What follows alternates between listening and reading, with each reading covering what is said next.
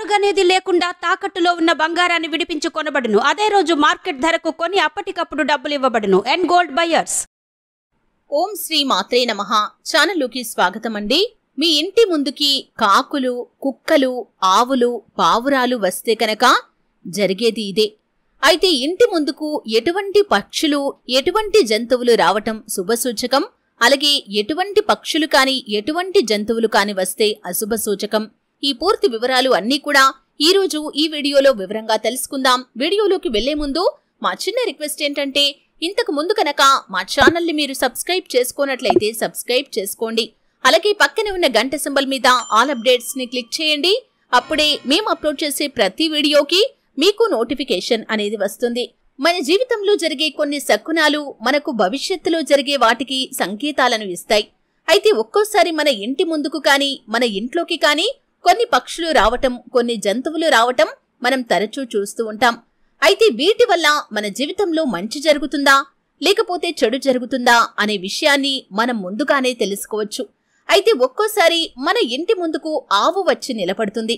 ఏ ఇంటి ముందుకైతే గోమాత వచ్చి నిలబడుతుందో వారికి రాబోయే రోజుల్లో అదృష్టం కలిసి వస్తుందని వేద పండితులు చెబుతున్నారు. ఎందుకంటే ఆవులో సకల దేవతలు ఉంటారని పురాణాలు చెబుతున్నాయి. ఆవు ఒక్కొక్క భాగంలో ఒక్కో దేవతకు నివాసం ఉంటుంది. కాబట్టి మీ ఇంటి ముందుకు ఆవు వస్తే కనుక సకల దేవతలు మీ ఇంటి ముందు వచ్చి నిలుచున్నట్టే. కాబట్టి మీ ఇంటి ముందుకు గోవు వచ్చి నిలబడితే ఎదురు చూసేలా చేయకుండా వెంటనే గోవుకు ఏదో ఒక ఆహారం పెట్టాలని కూడా పండితులు చెబుతున్నారు. ఒకవేళ మీ ఇంట్లోకి అకస్మాత్తుగా నల్ల చీమలు రావటం ప్రారంభమైతే కూడా అది లక్ష్మీదేవి మీ ఇంట్లోకి అడుగు పెడుతుందని మీకు ఎక్కువగా డబ్బు లభించటానికి సంకేతం. కాబట్టి మీ ఇంట్లో నల్ల చీమలు కనిపిస్తే వాటికి పంచదారను వేస్తే చాలా మంచిది. కాని వాస్తు శాస్త్రం ప్రకారం ఎరుపు రంగు చీమలు ఇంట్లో ఉంటే కనుక దురదృష్టంగా భావించటం జరుగుతుంది. నలుపు రంగు చీమలు మాత్రమే మీ ఇంటికి అదృష్టాన్ని తీసుకుని వస్తాయి. లక్ష్మీదేవి రాకకు అవి సంకేతం. అలాగే ఏదైనా పక్షి వచ్చి మీ ఇంటి దగ్గర గూడు కట్టుకుంటే అది చాలా శుభ సూచకంగా పరిగణించటం జరుగుతుంది. పక్షి గూడు కట్టిన ఇంట్లో విపరీతమైన ధన ప్రవాహం ఉంటుంది. పక్షుల గూడు మీ ఇంటి దగ్గర ఉంటే మీకున్న దురదృష్టం కూడా అదృష్టంగా మారుతుంది.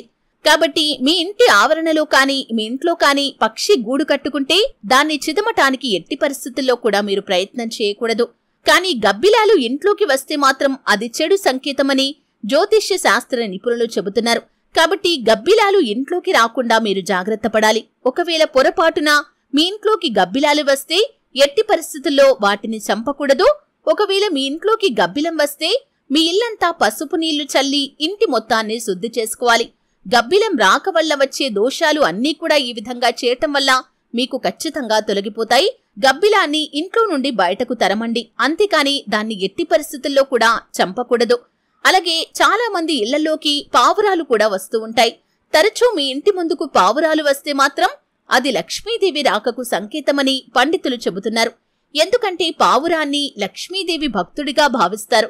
కాబట్టి మీ ఇంటి ముందుకు పావురాలు వస్తే వాటికి ఆహారాన్ని వేయండి.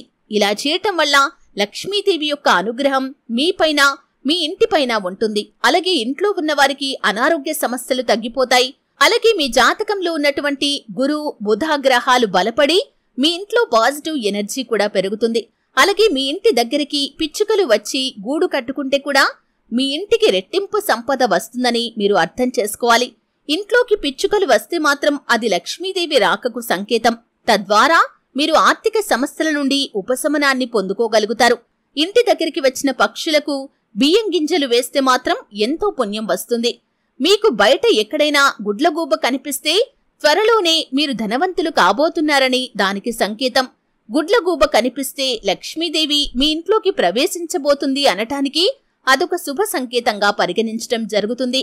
ఒకవేళ మీ ఇంటి ముందుకి కాకి వచ్చి అరిస్తే మీ ఇంటికి బంధువులు వస్తారని అర్థం. అయితే ఒక కాకి అరిస్తే ఏమీ పర్వాలేదు. కానీ ఎక్కువ కాకులు మీ ఇంటి ముందుకు వచ్చి ఒకేసారి అరిస్తే మాత్రం అది అశుభమని పండితులు చెబుతున్నారు. మనం బయటకు వెళ్తున్నప్పుడు మీ కుడి వైపు నుండి కాకి వెళితే మీరు వెళ్ళే పనిలో ఖచ్చితంగా విజయం సాధిస్తారని అర్థం చేసుకోవాలి. అలాగే చనిపోయిన మన పూర్వీకులు కాకి రూపంలో తిరుగుతారని నమ్ముతారు. మనం బయటకు వెళ్ళేటప్పుడు కాకి వచ్చి అరిస్తే మీరు చేపట్టబోయే పనులు విజయవంతంగా పూర్తి చేస్తారని సంకేతం. అలాగే తెల్లవారుజామున సూర్యోదయం సమయంలో మీ ఇంటి దగ్గరికి కాకి వచ్చి అరిస్తే మీ ఇంట్లో దేవతలు తిరుగుతున్నారని దానికి సంకేతం. కాకి గనక మీ తలపై వాలితే మీకు ఏదో ఒక చెడు జరగబోతుందని సంకేతం. కాబట్టి కాకి తల మీద వాలిన వెంటనే తలస్నానం చేసి మీకు ఏమీ కాకూడదని మీ ఇష్టదైవాన్ని ప్రార్థించాలి. అలాగే విష్ణు పురాణం ప్రకారం కాకిని పూర్వీకులుగా భావిస్తారు. కాబట్టి మీ ఇంటి ముందుకు వచ్చిన కాకులకి రోజు ఆహారం పెడితే మీ జాతకంలో ఏవైనా దోషాలు ఉంటే అవన్నీ కూడా తొలగిపోతాయి. అలాగే ఆడవాళ్ళకు ఎడమ కన్ను అదిరితే అది చాలా అదృష్టంగా భావించాలి. అదే కుడికన్ను అదిరితే మాత్రం మీకు దురదృష్టం పట్టబోతుందని అర్థం. అదే మగవారికైతే కుడికన్ను అదిరితే అదృష్టం వరిస్తుంది. ఎడమ కన్ను అదిరితే దురదృష్టం అని చెప్పుకోవచ్చు. కాబట్టి మగవారికి ఎడమ కన్ను అదిరినా ఆడవారికి కుడి కన్ను అదిరినా వెంటనే ఏదైనా బంగారం తీసుకుని ఆ బంగారాన్ని అదిరిన చోట అద్దుకోవాలి. ఆ తర్వాత కొంచెం చక్కెర తినాలి. ఇలా చేస్తే మీకు రాబోయే ఆపద ఏదైనా సరే అది తప్పిపోతుంది. అలాగే ఇంట్లో పూజ చేసేటప్పుడు కొబ్బరికాయలో పువ్వు వస్తే కనుక అది అదృష్టానికి సంకేతంగా భావించాలి. ఒకవేళ కొబ్బరికాయ కుళ్ళిపోతే మాత్రం అది అపశకునంగా భావిస్తారు. అలాంటప్పుడు కుళ్ళిపోయిన కొబ్బరికాయను తీసేసి మరొక కొబ్బరికాయను కొడితే ఏ దోషం కూడా ఉండదు.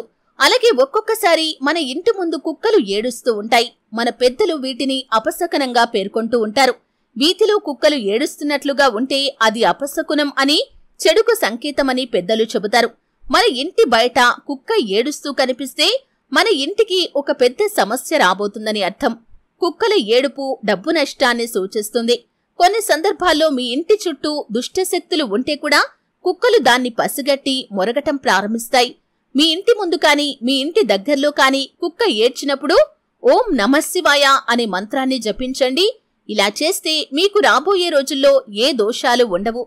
అలాగే మీరు తక్కువ సమయంలో ధనవంతులు కావాలి అంటే ఉదయాన్నే నిద్ర లేవగానే ముందుగా మీ అరచేతులను చూసుకొని దేవుడికి నమస్కారం చేయాలి. ఇలా చేయటం వల్ల లక్ష్మీదేవి ప్రసన్నమవుతుంది. అలాగే బల్లి మీద పడితే మనం అశుభంగా భావిస్తాం. అయితే బల్లి వల్ల శుభ సూచకాలు కూడా ఉన్నాయి. మీ కుడి చేతిపైన బల్లి పడితే మీరు త్వరలో ధనవంతులు కాబోతున్నారని అర్థం. అలాగే బల్లి మీ ఇంట్లో ఎక్కువగా కనపడుతున్నట్లయితే మీ ఇంటికి లక్ష్మీదేవి కటాక్షం ఉంటుందని దానికి సంకేతం. మీ ఇంట్లో ఉన్న తులసి మొక్క ఎండిపోతుంటే మాత్రం మీ జీవితంలో ఏదో చెడు జరుగుతుందనే సంకేతం. అలాగే ఇంట్లోకి సీతాకోక చిలుకలు రావటం చాలా అరుదు. ఒకవేళ మీ ఇంట్లోకి సీతాకోక చిలుకలు వస్తే మీ ఇంటికి మంచి జరుగుతుందని అర్థం. సీతాకోక చిలుకలు ఇంట్లోకి వస్తే వాటి రంగులాగే మన జీవితం కూడా రంగులమయం అవుతుంది. అలాగే చాలా మంది కప్పలను చూస్తే భయపడుతూ ఉంటారు చికాకు పడుతూ ఉంటారు.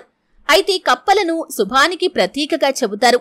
కొన్ని దేశాల్లో కప్పలను సంపదకు చిహ్నంగా కూడా భావిస్తారు. ఒకవేళ మీ ఇంట్లోకి కప్ప వస్తే కనుక మీ ఇంటికి అదృష్టం పట్టబోతుందని అర్థం చేసుకోవాలి.